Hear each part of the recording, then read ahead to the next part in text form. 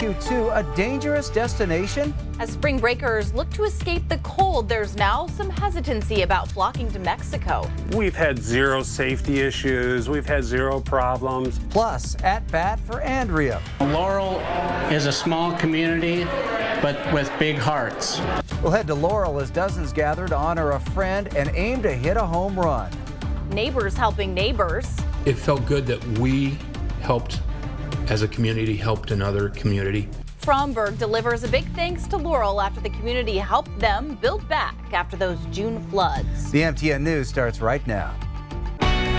From Montana's news leader, this is the MTN 10 o'clock news. Good evening, everyone, and thanks for joining us tonight. I'm Russ Riesinger. And I'm Andrea Lutz. Governor Greg Gianforte and Republican state lawmakers celebrating what they call big steps for Montana taxpayers. The governor signing some of his top budget priorities into law.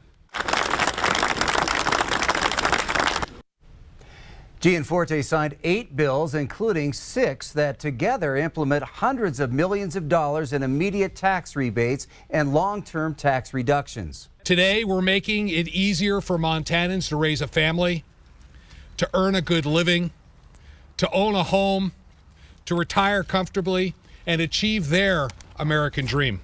I think this legislation is a promise delivered. When we ran our campaigns in the fall, we said we're going to shock the public. We are going to actually take money out of the Treasury and give it back to them because we have over collected. And House Bill 222 uses another $280 million to fund property tax rebates of up to $500 on primary residences each of the next two years. Other bills in the package would lower income tax rates starting in 2024. Well, Democratic leaders were critical, though, saying in a statement what the governor signed into law today is over $1 billion in reckless spending that disproportionately benefits the wealthiest Montanans.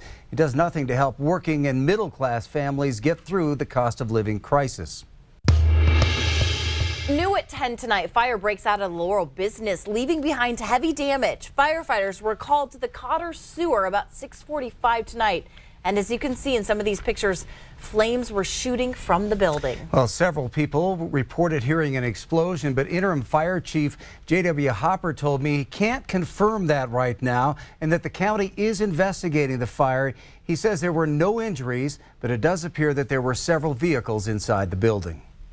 The sudden collapse of two banks is sending shockwaves across the financial community today. Silicon Valley Bank, which finances many tech companies, went down on Friday, and yesterday, Signature Bank in New York followed. The closures have many in fear, with some even rushing to their own banks looking to withdraw cash. And on Wall Street, a number of bank stocks opened sharply lower this morning, with trading even being halted for some banks because of the instability. So, despite the troubles, President Joe Biden is assuring Americans that it's not a sign of things to come and the American banking system remains strong. Look, the bottom line is this Americans can rest assured that our banking system is safe. Your deposits are safe. Those banks thousands of miles away, but the situation has many here in Billings and across Montana concerned as well. With more on the impact for the Treasure State and where exactly that level of concern is at, here's our own Haley Monaco. The shutdown of the U.S. 16th largest bank in California on Friday has left many asking questions. One being, could this happen in our own state? A wave on both coasts of bank closures disrupted the nation over the weekend. Now the question is, will that happen again? Will it be like a domino thing? But lifelong Billings resident John Robinson doesn't fear a shutdown here in Montana. I don't think it'll happen here, no. We have a lot of local credit unions and smaller banks here that shouldn't have issues.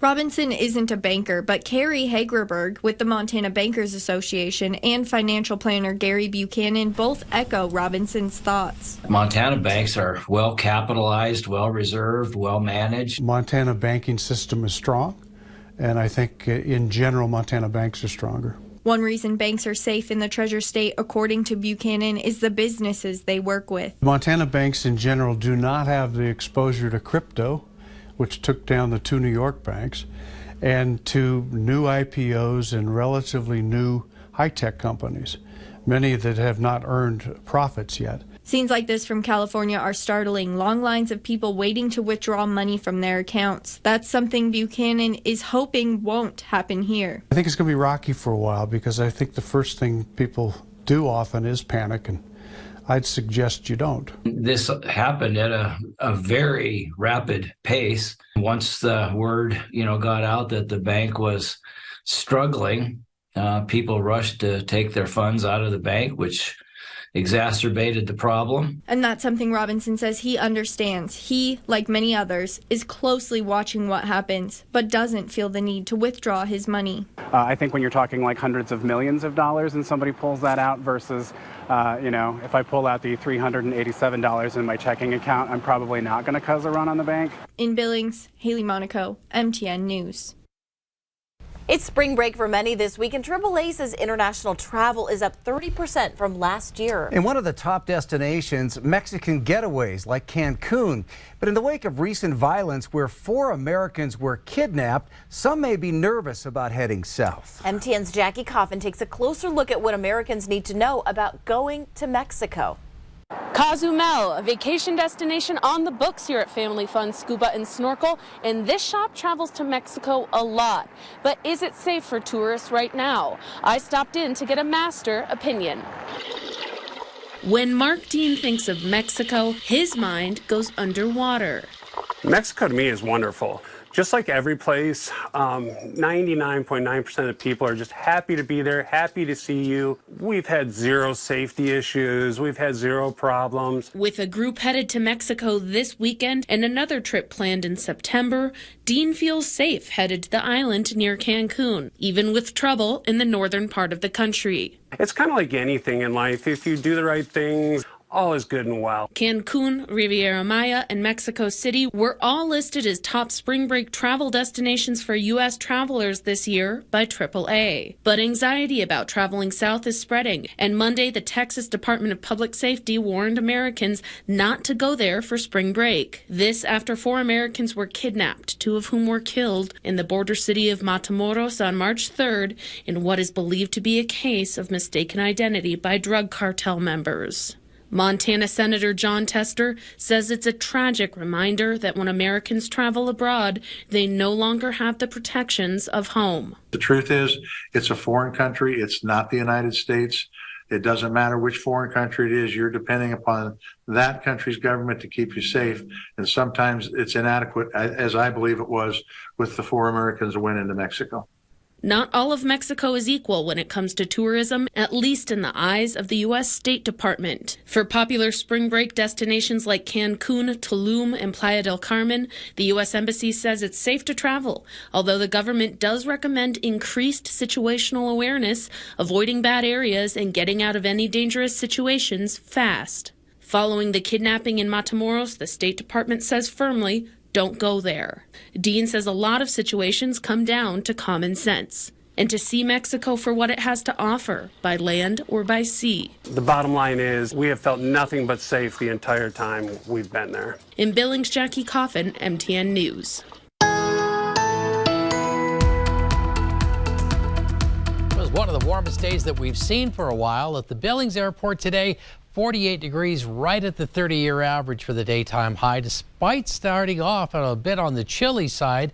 Notice also that now we're in daylight saving time. We have sunrise happening right about 7.30 in the morning and sunset is after 7 in the evening. We're doing okay as far as precipitation goes in the short term, but temperatures today across the state a real contrast. 20s across northern Montana to the 40s, even 50s, 53 for you in Livingston this afternoon, and winds kicking up now tonight so far. The top wind gust recorded at Livingston 41 miles per hour. It'll get stronger than that tonight. We'll have more of the details on that coming up in a few minutes. Tonight in Laurel, the community came together to honor one of their own, Andrea Benson, who died suddenly last summer. Benson's husband is looking to carry on the family's strong softball tradition by building a new batting cage in the city. Our David J takes us to the fundraiser where dozens came out in hopes of making his dream a reality. The whole idea is to honor a woman who is passionate about softball and passionate about helping softball players and bring the families and the players and the community together here at the Woods Powr-Grip Complex or possibly at another location in Laurel. Softball has always been a big part of life for the Benson family. Freshman Addison and my other daughter Josie, she's a junior. They absolutely love softball. Andrea Benson died unexpectedly last summer, and now her husband Sydney and their daughters hope to build a softball complex and name it after Andrea. Andrea would often say, you know, win or lose, do it with class.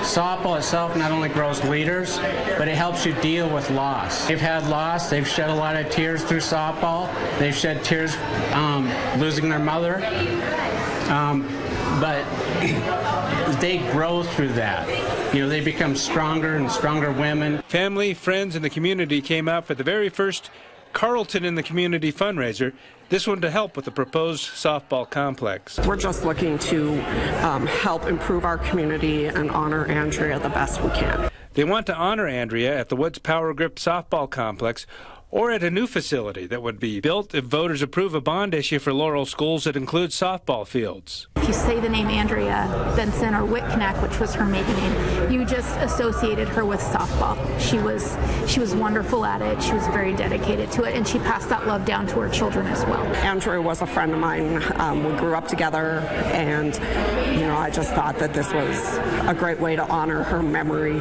and give back to the community at the same time. And Sydney Benson says seeing the community come out for a fundraiser is comforting for his family. Anybody that's lost a loved one, um, it, it is difficult to go through that process.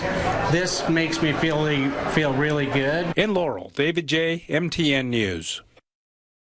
A Clancy student will represent Montana on the national stage at the Scripps National Spelling Bee.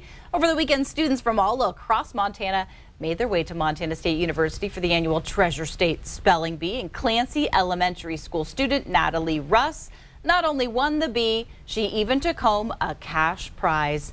The Scripps National Spelling Bee takes place in May in National Harbor, Maryland. Well, ahead on the MTN News at 10 here on Q2, saying thanks. A one town hit hard by last year's flooding is recognizing the help they got from a neighboring city. And later, a vinyl resurgence that has people returning to records. Stay with us.